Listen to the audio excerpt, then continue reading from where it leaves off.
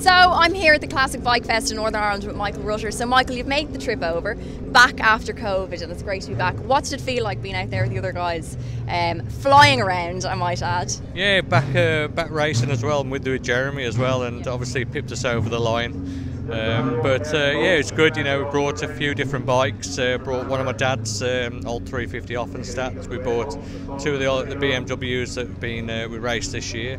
My RCV, which uh, we finished um, second uh, a few times, and we won the last Macau race on it, and done the TT. And we bought an XR69, which we're racing the Classic TT in a few weeks' time. So it's been brilliant for us. Done a bit of testing and. Uh, it's a brilliant track here as well, and always the crowd's fantastic here as well. They, they love the bikes. I was going to say there's a lot of history here around us, and obviously your dad. It was very special to be here and kind of, you know, tributing him here at the at the event.